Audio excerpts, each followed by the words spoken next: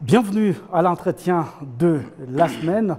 L'entretien de la semaine a le plaisir de recevoir euh, l'invité. Notre invité ce vendredi, c'est Joseph Moutaboba, diplomate à la retraite, fort d'une vaste expérience.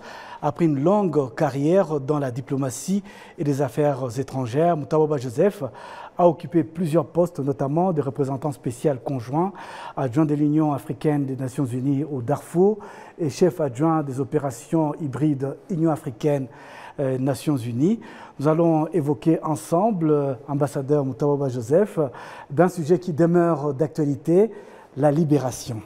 Eh bien, le Rwanda, euh, en date du 4 juillet 1994, un événement que vous avez vécu vous-même, s'est libéré. Peut-on déjà comprendre l'essence même de cette libération? Euh, Merci Patrick. le, sens de la libération du pays, d'abord faisons-le en général. Se libérer, c'est quoi? Se libérer, c'est se séparer d'un joug ou d'un problème ou d'une situation qui prévalait ou qui a été euh, euh malencontreuse, je devrais ajouter, et qu'on n'a pas aimé, ou que les gens n'aiment pas, ou qu'on ne voudraient pas voir pour longtemps. Alors, se libérer, c'est quoi maintenant? C'est se délier de tout ce qui t'a tiré vers le négatif, ou vers la non-action, ou vers la léthargie, tout simplement. Euh, quand on parle de libération, par exemple, au, Rwanda, chez nous maintenant, hein, c'est très facile à comprendre tout de suite nous avons souffert pendant plusieurs années de mauvaises politiques. Et là, je, parle du temps colonial déjà. Vous parlez de, de, ce, temps-là. Quand vous êtes devenu victime, vous êtes devenu euh, assez harassé ou courroucé par ce qui se passe dans votre pays ou dans votre nation, ça veut dire que le temps vient où on en a jusque-là, on dit, ouf, il faut que ça se débarrasse. Alors, le pays a connu euh, une histoire assez intéressante que les gens ne, ne, parlent pas beaucoup dans les livres d'histoire. Le Rwanda, avant que les, les, Européens n'arrivent, avant que les, colonialistes n'arrivent, c'était une nation, un pays-nation, donc qui, qui avait toutes les structures qu'il fallait et qui rappelait un pays, une nation bien dirigée et qui avait le système que plus tard on, nous a appris euh, la, démocratie. Nous avions une démocratie parlante dans ce pays, dans le temps. Donc, la démocratie occidentale n'est pas venue euh, nous apprendre quelque chose de nouveau. Pas du tout. On avait une démocratie qui était là. si cette démocratie ancienne, à nous, a disparu, et que maintenant on se voit devant un fait. Euh, c'est comme une manne du ciel. Vous avez une opportunité de redevenir un. Les Banyarwandais étaient une nation.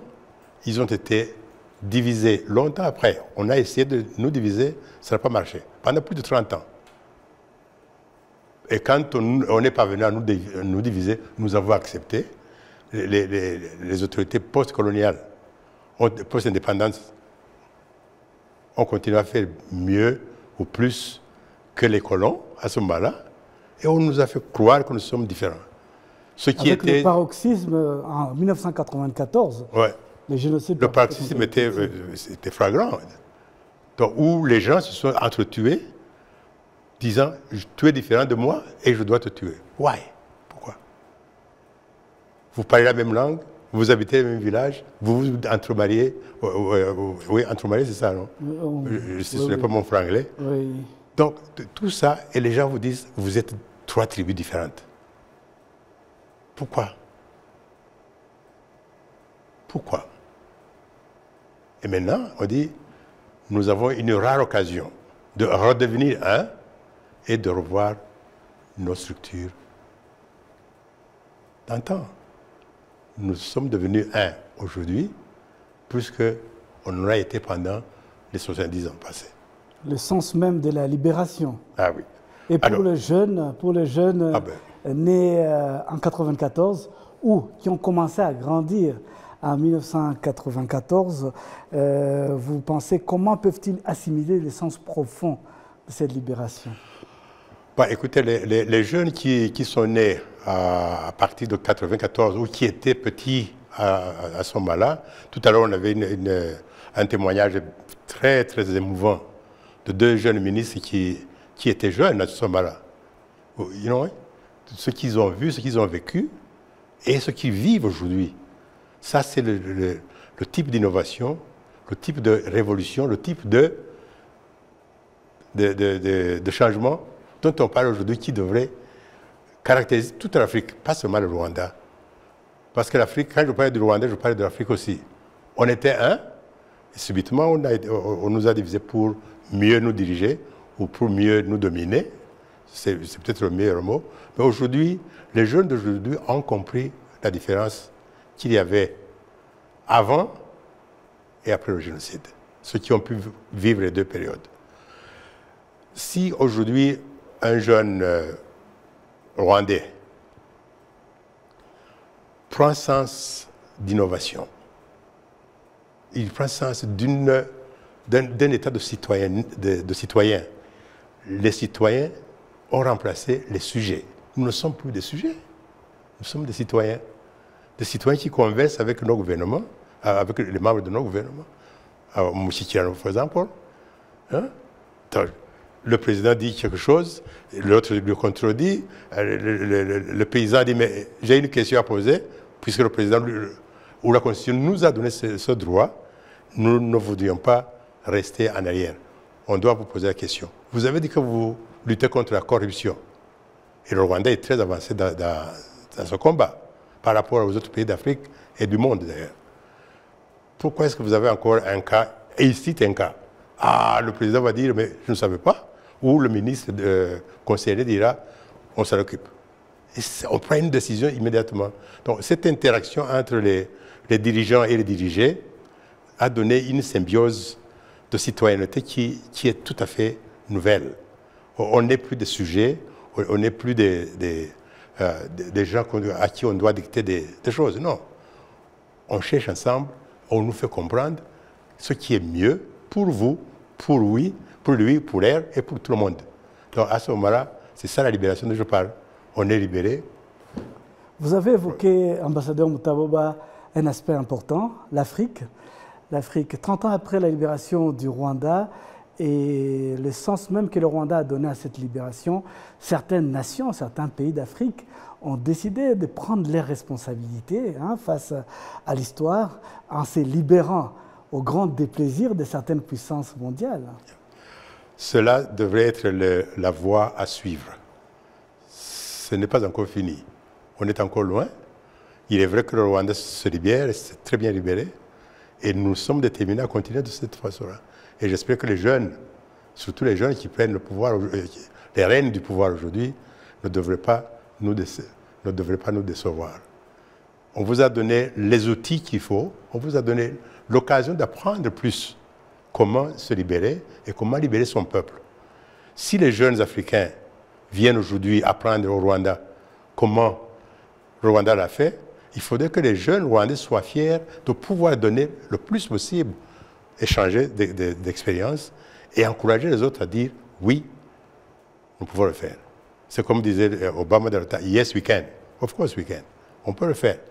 Donc ça, c'est ce dynamisme de changement qui va occasionner une certaine révolution dont on a besoin en Afrique pour se libérer carrément des mentalités qu'on a, qu'on a acquises ou bien qui ont été euh, inculquées.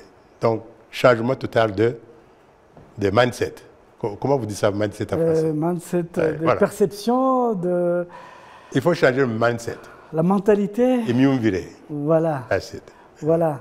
Et vous avez, ambassadeur Moutabo, vécu ces différentes périodes avant l'indépendance hein, du pays. Euh, et puis vous avez vécu euh, pratiquement les différents régimes qui ont succédé dans ce pays. Et puis vous avez vécu cette, euh, cette libération. Vous êtes à la fois père et grand-père. quel message Vous avez mentionné quelque chose de très important. Quel message pour cette génération qui vient après? Ben, Écoutez, nous, les, ceux qui sont vieux, plus vieux, non? Ne sais pas si vous, vous acceptez que j'utilise ce mot, nous les vieux aujourd'hui, Pas les vieux loups, hein, nous les vieux. nous les vieux, on a la chance de comparer, de faire des études comparatives. Je peux comparer ce que j'ai vu avant l'indépendance avec ce que j'ai vu après l'indépendance à partir de 59. Ce qui s'est passé en 59, ça j'ai vécu personnellement. Et je peux comparer avec ce qui s'est passé après 73. Et je peux comparer avec ce qui s'est passé en 90, 94. Eh bien, l'expérience est riche et sage parce que ça nous apprend, et ça apprend la, jeunesse, et c'est surtout aux jeunes à, qui je m'adresse, ne, ne ratez jamais cette occasion. Saisissez l'occasion de dire, c'est le moment où nous pouvons apprendre le plus possible. Le Rwanda, c'est un pays où vous pouvez faire la recherche, où vous pouvez faire des innovations, où vous pouvez faire la politique même, mais essayez de le faire de façon responsable. Apprenez à chercher plus loin que votre nez. Il y a plus. Il y a beaucoup de richesses dans la culture, dans la langue que vous devez apprendre parce que c'est dommage que la, plupart des, enfants aujourd'hui ne parlent pas la langue qui est en Rwanda, mais c'est l'histoire aussi. Mais il faudrait qu'on puisse outiller ces jeunes pour qu'ils puissent se sentir encadrés de faire des recherches dans le sens qui va améliorer le futur et améliorer leur futur et le futur des, euh, du pays qu'on euh, leur lègue aujourd'hui. Voilà. Merci beaucoup, euh, ambassadeur Joseph Moutaboba. Je rappelle donc que vous êtes diplomate à la retraite et que vous avez une vaste expérience dans la carrière des diplomaties et des affaires étrangères.